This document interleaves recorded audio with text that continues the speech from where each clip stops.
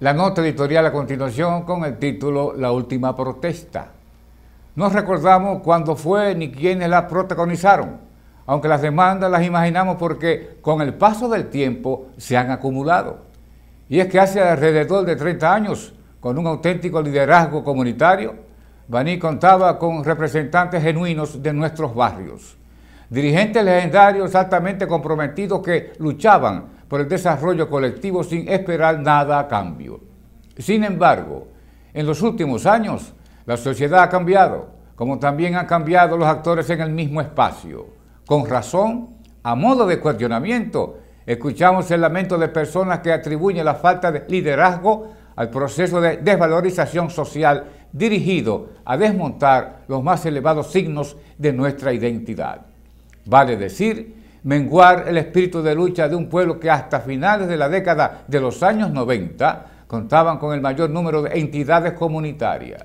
De hecho, teníamos organizados los obreros, productores agrícolas, cafetaleros, transportistas profesionales y sindicalistas en todas las áreas.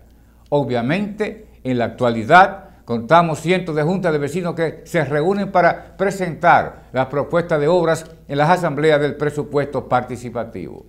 Muchas de esas organizaciones sirvieron de base para la formación de dos federaciones que competían en la zona norte. Lamentablemente, esas dos entidades lucen nati muertas sin cumplir con la misión que dieron origen a su fundación. Por esa razón, cuando se produce una situación cuya solución debe ser reclamada ante las autoridades competentes, la población se muestra impotente, sin rumbo ni dirección. De ahí que por desesperación se lancen a quemar neumáticos en la calle, causando graves daños a las vías recién asfaltadas, sin contar con los efectos nocivos de la humareda que se esparce por todas las viviendas.